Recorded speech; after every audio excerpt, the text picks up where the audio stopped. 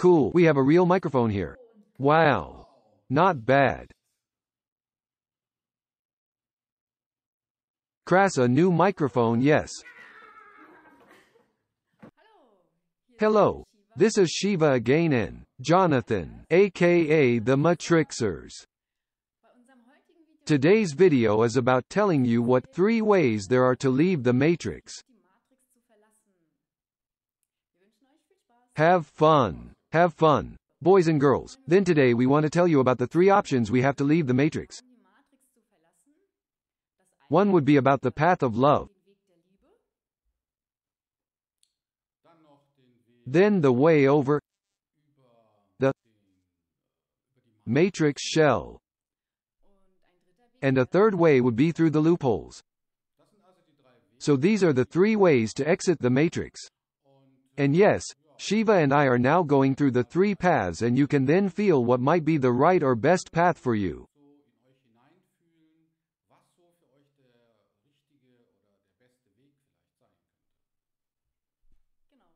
Exactly. Then let's start with the way of love. I would say, yes. Shiva. The way of love everyone strives for that, the way of love. Basically, we all go there somehow. Across our lives, the cycle of reincarnation ends with this. That we end up in infinite love and can thus get out of the matrix. Because all people strive for love, but basically don't really know what it is. Yet she is everywhere. Only we don't know and we don't want to know either, because we deliberately camouflage them.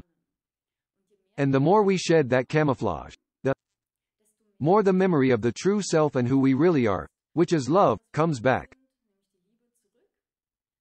And with that, of course, the frequency, the vibrational frequency of the respective human being, of the being, increases, so high that one has ascended and can leave the matrix. Yes, you then go up through the astral planes to the level where you can get out. Exactly. And that goes beyond love. It's about love. What does it mean to go about love? Exactly love. They all present themselves as something beautiful, vibrating and full of light. But basically it is actually something very still, something very steady and calm something that is eternal, and in every cell, in every atom, in every act in all that is, exists. We are the only ones who came here on earth to separate ourselves from this love, to experience what it is like to feel separated from unity and from love. And basically, the key lies in all of us, namely that here in our true self only we don't want to see it at all. In the true self you can see that you don't really want it at all. Because you want to be here to feel. You want to experience the world. Experience the feelings. You want to be in the matrix to feel. But eventually, as the reincarnation cycle nears its end, you eventually get tired of all the experiences and feelings you've had and you want to look behind it all. When you start looking behind the camouflage, that is, behind what you feel, you feel the anger or you feel the fear and if you look behind what it's actually camouflaging you will find that when you've gone through everything, if you look behind it, there is only love there.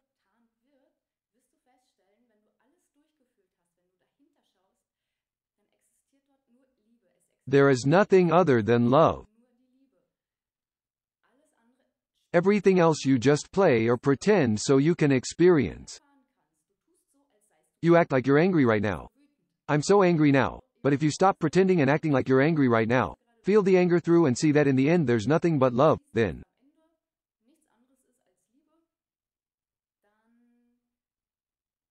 And that with everything, with everything that you are, with everything you do, i.e., living completely from the heart, then the camouflage falls step by step.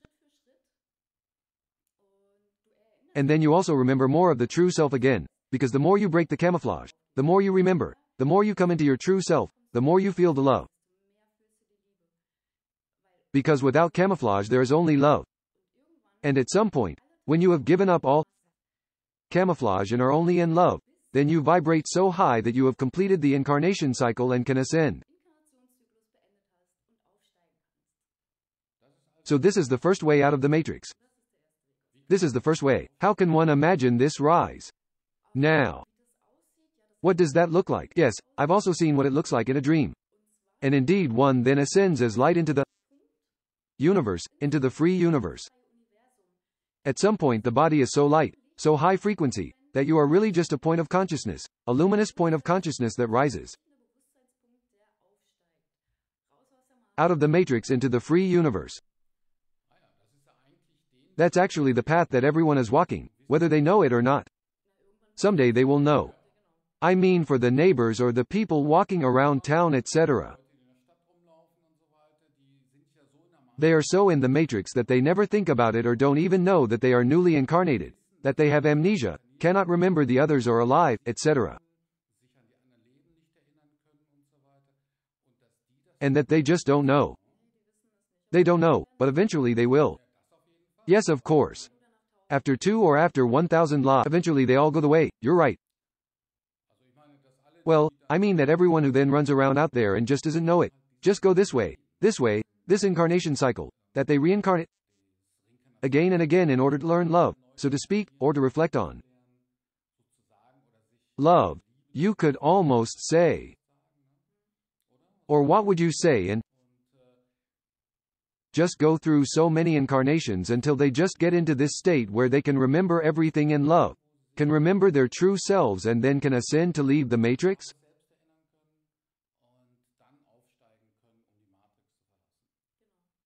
Exactly. Yes. Yes. So that is exiting the matrix via the completion of this reincarnation cycle and with ascension. Yes, Yes. Yeah, then tell us about the second way. Namely via the matrix hull.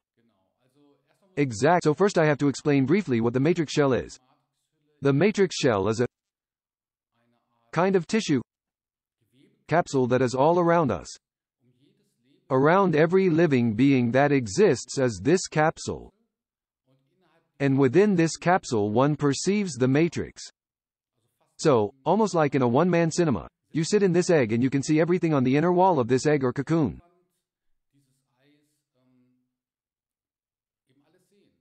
All the lives you have or all the experiences you have in your everyday life. And then there is the second way, which then goes through this matrix shell. That is, the sequence would be, so to speak, that one first becomes aware of the knowing self of one's everyday self. It's also the case with ascent that it happens automatically later at some point. But if you want to get it done in this life, you could make yourself aware of this knowing self. And from that knowing self you can then eventually become aware that you are in the matrix shell, in this tissue egg.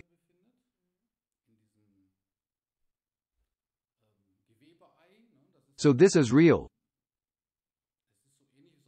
It's built a lot like a spider's cocoon and is about an arm's length away. And then when you become aware of getting into that egg or to get into this tissue capsule, one can actually perceive oneself there.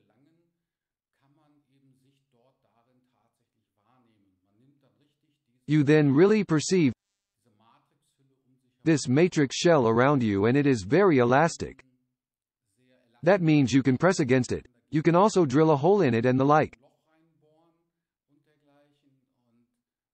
And as soon as you, how shall I put it, have managed to get there and are brave enough, then you can open this egg. And that's how you leave the matrix. And how can you achieve that you just get into the egg?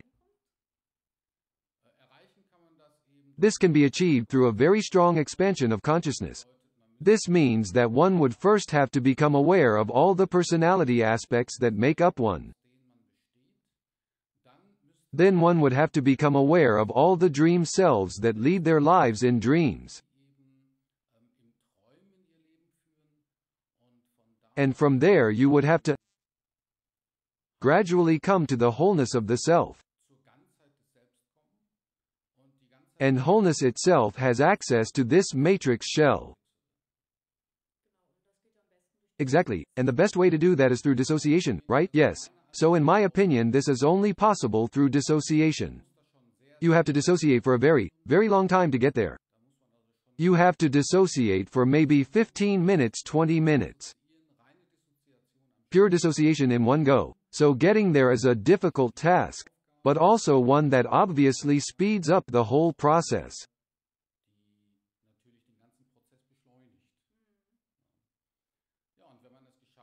Yes, and once you have managed to get into this matrix, you can leave the matrix from there.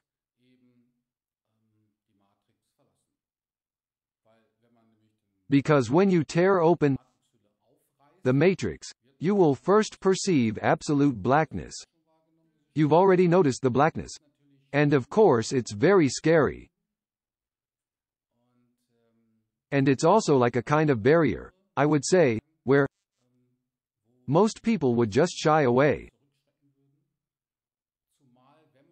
Especially since when you become aware of the state or get into the state of consciousness where you can perceive this tissue capsule, this matrix shell, you will also see when you see the descriptive films and pictures that you see on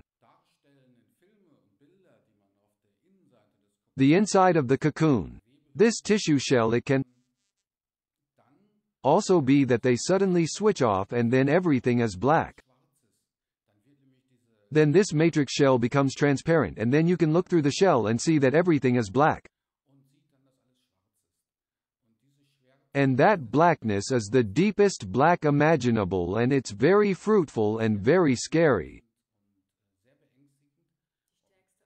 The strongest fear I believe you will ever experience. Yes, it really is. Yes, it really is. The highest level of fear that you can actually experience. And whether one still has the courage to rip Open the matrix shell is another question. Exactly. So I would say that it is a very difficult path. And yes, but it works. Perhaps one should tell why we are there or what exactly is in these cocoons. And how did we get in there? Why did we go in there or are we in there voluntarily? So the function or reason that every living being resides within this matrix shell is just to encapsulate consciousness. So it's an encapsulation of consciousness and that isolates consciousness from its true self, so to speak.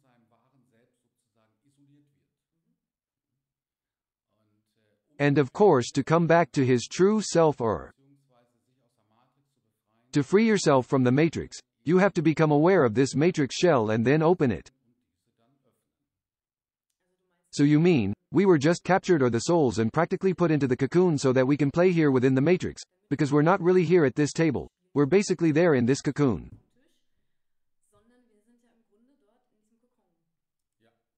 Yes it is. I'm sitting here in my cocoon and Sue is sitting in your cocoon, right? Exactly. And when I look at you, I don't see you sitting in your cocoon. I only see you as a projection that you send me from your cocoon. I see on the inner wall. Exactly. You tell me yes, I am me. Shiva looks like this and I have such and such eye color and such and such a figure etc. And then it just appears on my inner wall. And it's all telepathic. And that works subconsciously telepathically, I would say. And then I'll do the same for you. I will then send you my picture of myself, what surroundings I have or where we are etc. And that's how we exchange ideas. We are just projections. Yes. So. You can say that, I guess, right? Yes. And the trick is to move so far into this state of consciousness, via dissociation, that you perceive this matrix shell, There are many terms for cocoon, as you say, or a, you can also say it for fun. Or tissue capsule, tissue cocoon or membrane. So there are probably many terms for it. Exact. Sometimes you can even see it. The monitors, when you close your eyes. Sometimes you have such a short moment and then you have the feeling that you see monitors in front of you. At first, I thought, what is that? Why am I seeing monitors? But I think that's the moment when you perceive from the cocoon for a fraction of a second. Do you think that can be the case? Yes, yes, it could well be that you see such an excerpt. A section of the matrix shell you are in. Yes, consciousness capsule was also a term and there are certainly many for it. And they really have the consistency of a spider cocoon. So I can't find anything else in our world that would match that in terms of weave tech. Well, I can also well imagine that the spider beings also created their part in the matrix and also played a part. Very possible. Not impossible, because the spider cocoon association is very strong, even if it is thick. You can also see it in the film Matrix or I remember exactly. There are also the little spiders on these cocoons, so I think that seems to be somehow associated with it.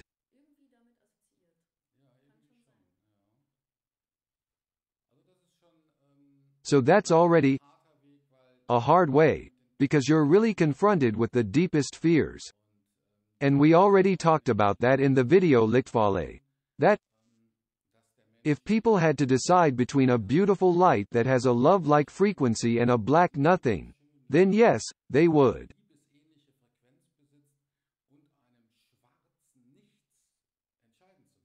So you can guess what to choose. Yes. Yes, yes, then let's take the third route via the loopholes. After you die, you can make your choice. Light or black hole. The black portals that have arisen through the increasing consciousness and awakening of humanity in the matrix grid. And more and more rise, the more awaken. So people wake up. The more of these black loopholes arise. And if you really only have the possibility to use this black loophole, the short period of time between physical death and going into the light. Yes. That is the short span of time in which this opportunity can be seized. So don't go into the light, they say, but don't talk to anyone. Beings will approach you. They naturally want to have contact. They want to talk to you. They want to tell you the light is great. Come along and compare. Because they remind you of that, of the actual state of being, love.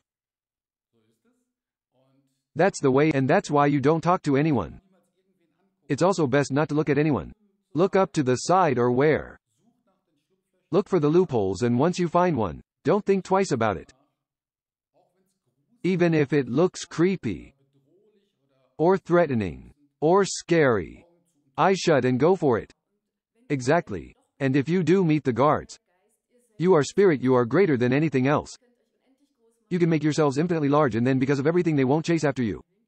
You have free will, you can just go. And the fear when you go through these loopholes or through the matrix. The fear doesn't exist. After seeing that when you go through fear, you see that fear is just an illusion. It just doesn't exist. It was never there. All that exists is just love. And yes, as such, if you go in with awareness, no matter how scary it is, you don't exist. Then you're through. Then let's hope that whoever is at this crossroads remembers what you said. That's great. And yes, how should I put it? These black portals are of course also overlaid with a frequency. Of course, the matrix manufacturers disguised them like that. I would put it in quotation marks. And that's why you have to bring a lot of self-control with you and then you can go through the portal and then you get into the free universe.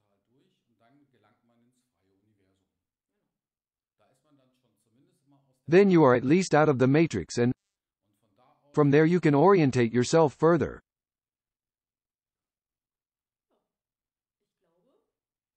I think that's it from us for today. Yes, we hope you enjoyed our video about the three ways out of the matrix.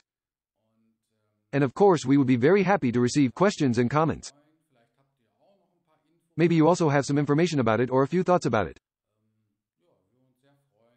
Yes, we would be very happy if you write a comment there. You can also support us with a link or a donation, if you would like. And yes, see you in the next video.